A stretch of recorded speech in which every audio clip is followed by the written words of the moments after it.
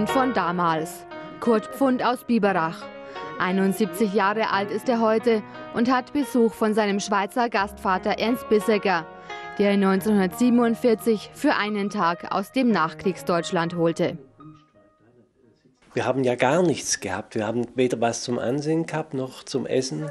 Es war eine äh, ganz, ganz schlimme Zeit. Ich entsinne mich noch gut, wie meine Mutter äh, gesagt hat, wir kriegen ein Stück Brot am Tag und das durften wir essen, wann wir wollten.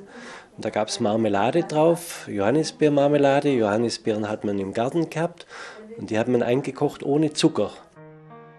Insgesamt 650 Biberacher Kinder dürfen am 9. November 1947 zur Erholung in die Schweiz.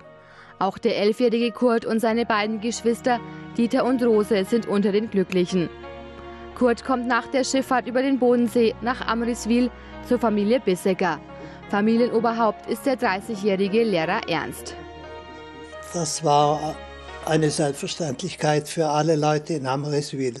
Als die Anfrage äh, der Kirchgemeinde damals kam von Biberach, für die 650 Kinder haben sich alle Leute spontan eigentlich bereit erklärt, eines oder zwei Kinder aufzunehmen. Man konnte den Wünsche anbringen bezüglich Alter, bezüglich äh, Geschlecht, also Mädchen oder Buben. Uns war das gleich und glücklicherweise kam dann der Kurt zu uns.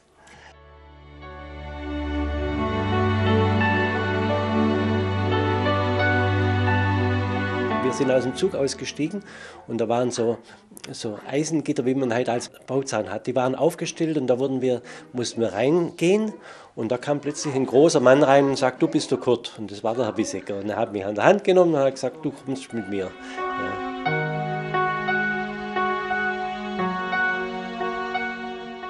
Für den kleinen Kurt ein unvergessliches Erlebnis.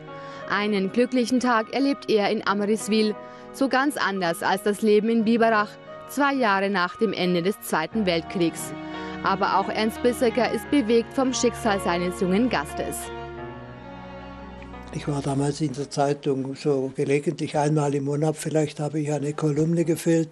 Da habe ich auch von diesem Empfang geschrieben, wie die Armut und die Not und der Hunger aus den Gesichtern gesprochen hat.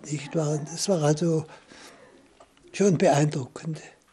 Und sie waren natürlich auch arm gekleidet, die hatten ja nichts, nicht wahr? Sie hatten aber, wir hatten keine Ahnung, wie arm diese Kinder waren. In der Schweiz, man musste auch sparen, es war nicht alles äh, ohne weiteres erhältlich, aber verglichen mit diesen deutschen Kindern, die da aus, Konst äh, aus Biberach kamen, das war einfach äh, beeindruckend.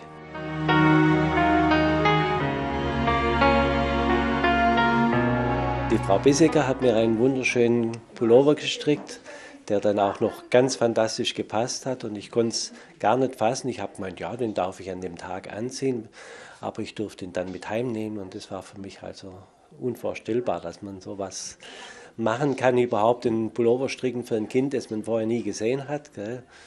Und der hat wunderbar gepasst und es war ein ganz, ganz schönes Stück.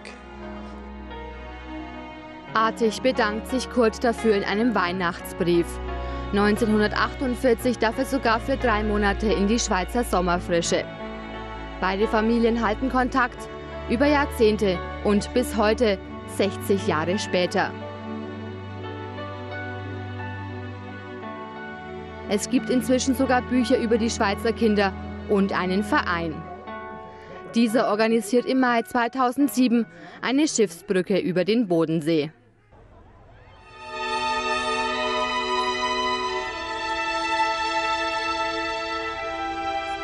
Tausende Schiffe feiern die Geste der Schweiz, die deutschen Kinder damals aufzunehmen. Elf Kilometer lang reiht sich Schiff an Schiff zwischen Friedrichshafen und Romanshorn über den See.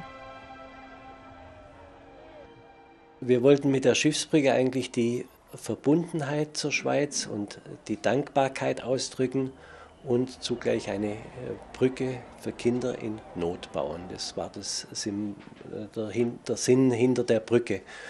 Es war einfach fantastisch, wie alle drei Länder am Bodensee an einem Strang gezogen haben. Es gab, die Vorbereitung war ja unheimlich kurz. Äh, es ging ganz, ganz schnell über die Bühne und äh, ohne jegliche Probleme. Alle Behörden, alles war mit uns in einem Schiff praktisch sozusagen und hat an einem Strang gezogen, dass es durchführbar war überhaupt.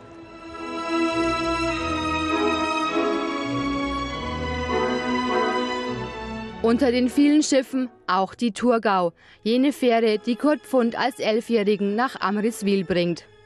Irgendwo denkt man noch damals dran, wie man als Kind darüber gefahren ist, äh, wie wir voll Erwartung waren. Wir wussten ja nicht, was auf uns zukommt. Gell? Und äh, naja, jetzt freut man sich natürlich, dass das Schiff noch gibt und, und dass man da so eine Fahrt machen kann. Inzwischen gibt es nicht mehr viele Menschen, die sich über ein halbes Jahrhundert zurückerinnern können. Kurt Pfund und Ernst Bissecker sind eines der letzten Besuchspaare von damals.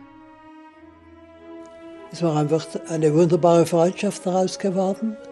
Das war etwas ganz Wichtiges in unserem Leben.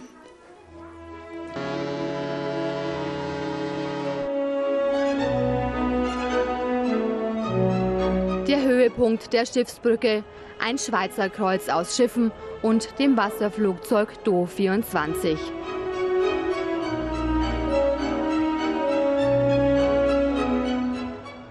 Zehntausende Menschen zu Wasser und zu Land haben so eines gezeigt. Nur gemeinsam sind wir stark.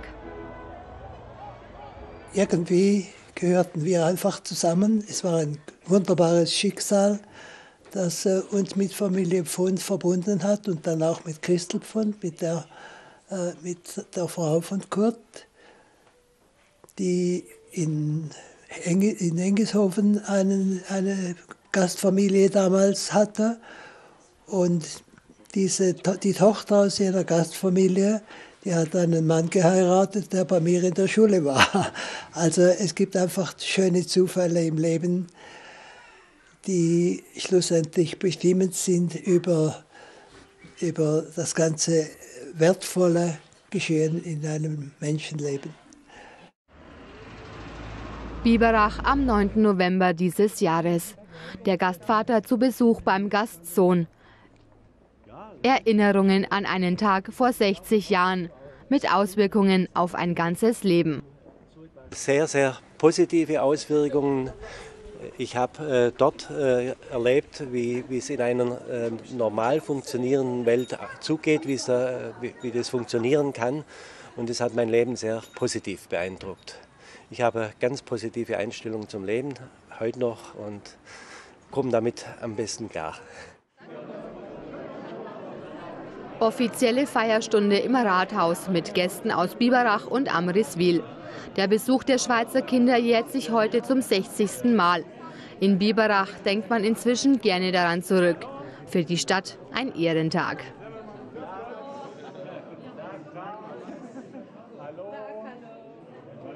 Es steckte nicht nur eine einmalige Einladung dahinter, was das in den Köpfen der Menschen wohl verursacht hat. Äh, in dem da niederliegenden Deutschland, so auch Biberach, kurz nach dem Krieg so eine Einladung auszusprechen, war phänomenal. Was hat es für Biberach gebracht? Ich sage es Ihnen aus meiner tiefsten Überzeugung, es ist mitursächlich dafür, dass es dieser Stadt heute so gut geht, weil Biberach aus meiner festen Überzeugung einen Vorteil hat daraus, dass es sehr früh die Verantwortung wieder übernommen hat. Das nennt man Sozialkapital und ich bin der festen Überzeugung, dass das mit ein Grund ist, warum es Biberach heute materiell auch so gut geht. Schweizer Kinder, Freunde, Familie. In Biberach an diesem Tag nicht leicht zu trennen. Und das ist heute ja auch ganz egal. Aus einem Tagesausflug mit Schuhen und Schokolade ist so viel mehr geworden.